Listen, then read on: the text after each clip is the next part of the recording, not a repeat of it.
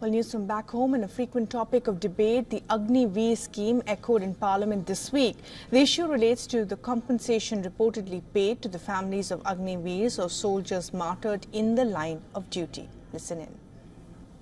छोटे से घर में छोटे से घर में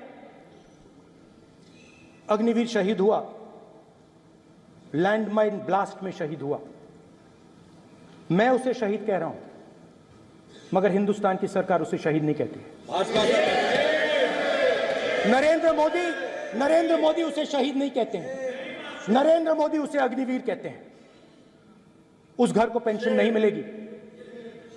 उस घर को कॉम्पनसेशन नहीं मिलेगी। शहीद का दर्जा नहीं मिलेगा। Now, the army has now released a statement clarifying that Ajay Kumar's family has already received $117,349 as part of ex gratia and other benefits. An additional amount of uh, $80,000 or 67 lakh rupees is expected to be released after the final account settlement and police verification, bringing the total compensation to around 197,000 US dollars. Uh, now, the Indian Army uh, further added Ajay Kumar's last rites were performed with full military honours. The Defence Minister Rajnath Singh also responded firmly, stating that Agniveers received 119,000 US dollars in compensation upon martyrdom.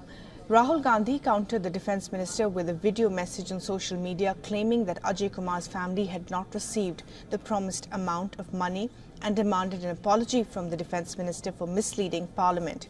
He also shared a video of Ajay Kumar's father who confirmed his family had not received the compensation. Now, defending the scheme, the defence minister Rajnath Singh accused Rahul Gandhi of spreading false information.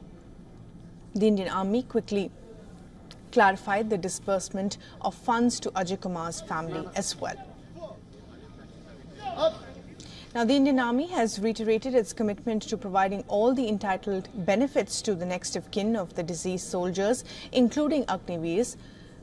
Launched in 2022, the Agnipath scheme aims to reduce the age profile of the armed forces by inducting personnel on a short-term basis.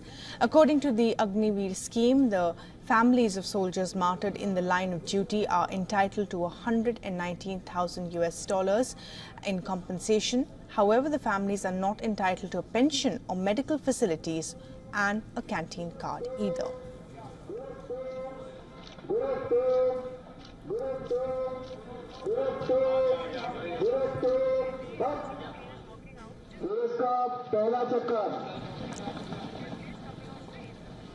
For all the latest news, download the WION app and subscribe to our YouTube channel.